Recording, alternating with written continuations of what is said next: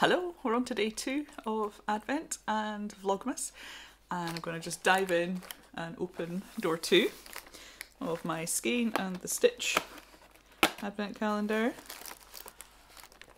Here we are. It's another greenish one. Ooh, darker than the last one. So this is yesterday's, and yeah, even in that this light, you can see that it's it's darker, similar, darker. The name of this one is An Unexpected Party because on the next section in The Hobbit, it's all about the dwarves arriving at Bilbo's house and just turning up and announcing themselves and hanging up their hoods and then demanding food. Um, and poor Bilbo is all flustered. So I showed you this yesterday. Um, I'm going to just add to this, quickly get this one wound up, add to it, and that'll be me. This morning I have craft group to look forward to. That's um, just a few minutes around the corner, and I'll look forward to catching up with everyone there. All sorts of different craft. I'll uh, get some footage and I'll pop that in later. And apart from that, I'm not sure what I'm up to in the afternoon. Hopefully, get out for another crisp walk and some knitting done. And I've also brought my covering it up. My Christmas mug. This one does have coffee in today. Can we see? Yes. it does have something in. I have strong coffee. I woke up at 5am this morning and stayed in bed till about 6. Got up around 6, made a cup of tea, and then about half an hour later just checked Instagram and things on my phone and uh, threads. I'm enjoying threads at the moment. And then I got up and had some breakfast. It was a thick OT based smoothie. So I've got strong coffee now. And yesterday, I started my Christmas mugs and WIPs hashtag on Instagram, and that went down well. A few people have shared already, so yay! And a lot of people saying need to dig out the Christmas mugs or go and find some. Charity shops, secondhand shops um, are a great source at the minute.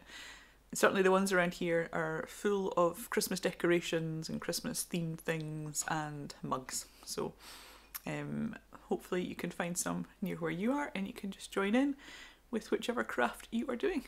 I am going to go take a picture once I've wound the yarn and share with this one. So I'll catch up with you later on.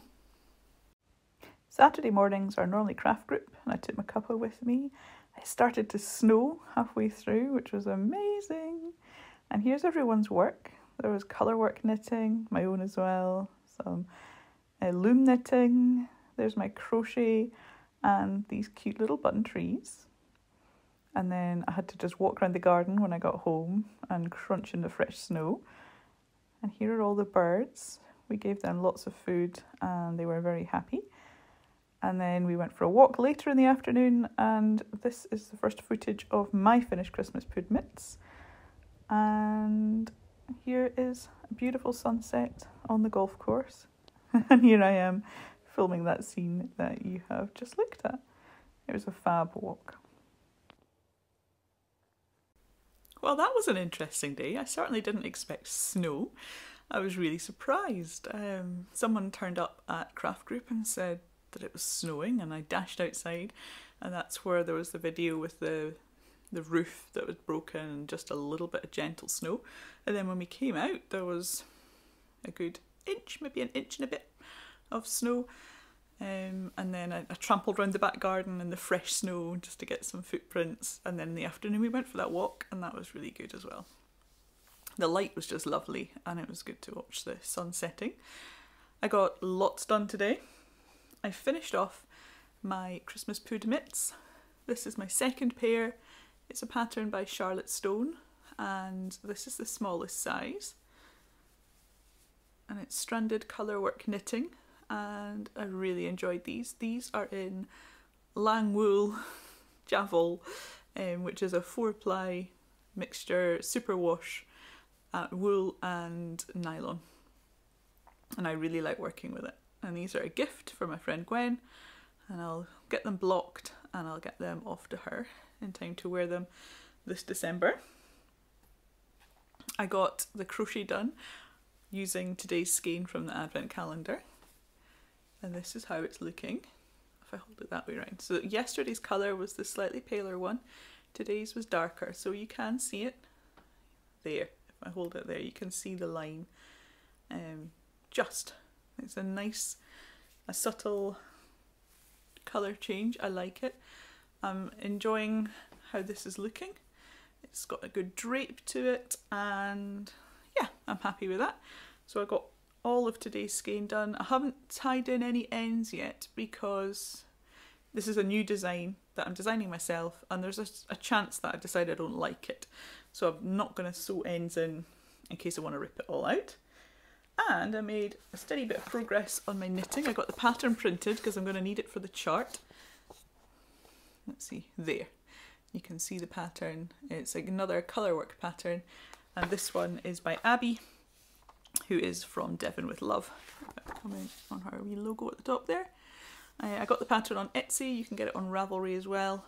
And yep, happy with that. The second design of hers that I have followed. And I've done quite a bit today. I've finished the cuff, which I'm working in a navy yarn. And then I've just started and I've switched. Oh, you can see the sparkle. I've switched to this indie dyed yarn with sparkle through it. And the white is Lang yarn again. And I've done three rounds of colour work. And that's how far I've got with that.